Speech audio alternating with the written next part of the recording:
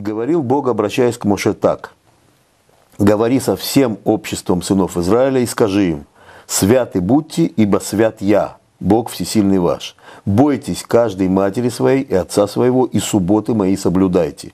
Я Бог всесильный ваш. Не обращайтесь к идолам, и богов литых не делайте себе. Я Бог всесильный ваш. Да. С этого начинается глава. То есть, э, что значит бойтесь меня? Э, есть программа, которая работает над всем человечеством и двигает его к цели. Цель – это полнейшее абсолютное объединение.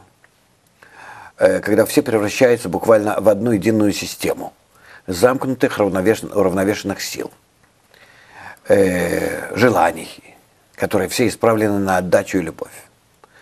Вот эта общая сила, общее желание, которое мы достигаем, э, которое связывает нас абсолютно всех, делает равными и равностными участниками, участниками вот этой вот системы, она называется Творец э, будьте святы, как я. То есть вы должны прийти к такому состоянию, которое, э, то есть к абсолютной связи между собой, к абсолютному взаимодействию, к абсолютной любви.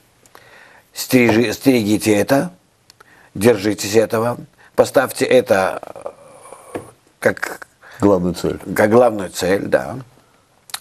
И вот то состояние, которое вы должны достичь, которое называется суббота.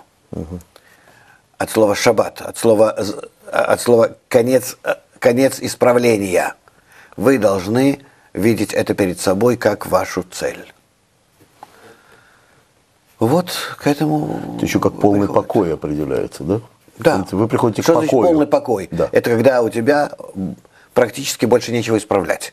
То есть ты исправил себя настолько, все себя это значит свое включение во всех, угу. во все 7 миллиардов или 20 миллиардов, неважно, насколько еще раздробится человечество. Вот.